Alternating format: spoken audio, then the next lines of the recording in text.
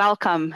Uh, it's sunny here in Treaty 1 territory. I am coming to you from the traditional lands of the Ojibwe, Cree, Oji-Cree, Dakota, and Dene nations, and the homeland to the Red River Métis. This land acknowledgement that we uh, use for Creative Mornings isn't something that we just say.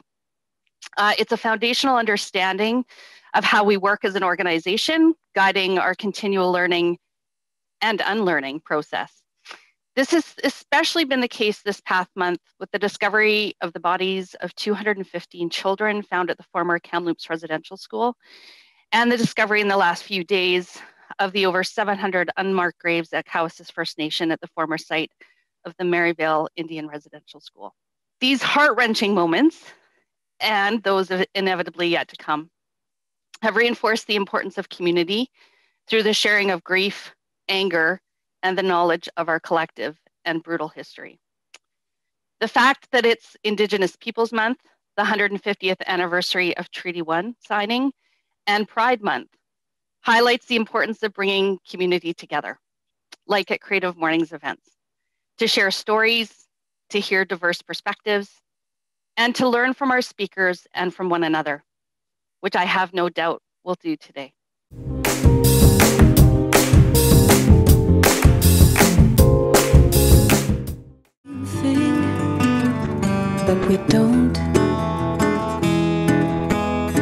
When are we gonna talk openly about what we're doing? When are we gonna do something more than just?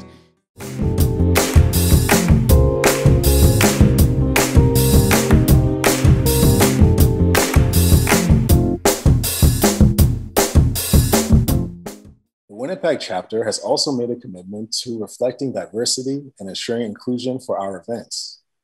Located in one of the most diverse communities in North America, we are as inclusive as we are creative, and we will be creative in order to achieve inclusion. Please help me welcome Nathalie Pambrun.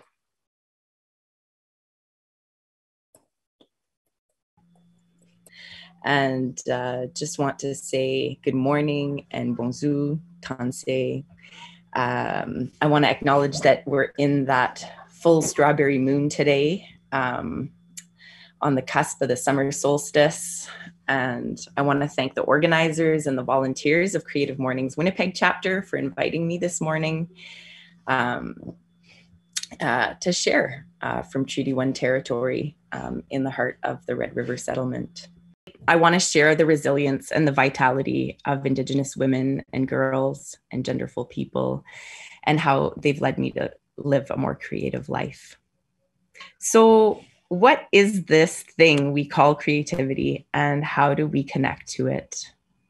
Matriarchy says creativity is your mother, not just for birthing you, but for sharing all her skills and knowledge and the ways of being creativity is being filled with wonder. Matriarchy says creativity is seeing the connectedness between you and all of creation. Creativity is in the land, creativity is in the water, and you're not separate from the land and the water. They're your relatives, and you are theirs. All my relations. Creativity is inclusive. Creativity values everyone and their contribution. Creativity is connecting to your ancestors. Creativity is broadening your sense of self through time and space, situating yourself within the web of creation. Matriarchy says the birthplace of creativity is found in the relational. Cultivate creativity through your kinship relations. Creativity is deep listening. Creativity is born beyond the binary where multiple perspectives can exist, creativity is open to change. Birthing new ideas can be painful. Transitions are the cusp of creativity. Do not give up. Do not quit. Pain is productive. It means you are transforming. Creativity is allowing yourself to be vulnerable. Creativity is being open. The birth is imminent. Creativity makes you stronger. Soon you're sitting with that new life for all to see. Creativity allows you to relish in these new perspectives and give birth to new possibilities.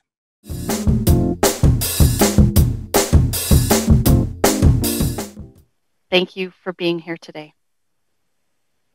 And thank you, Nathalie.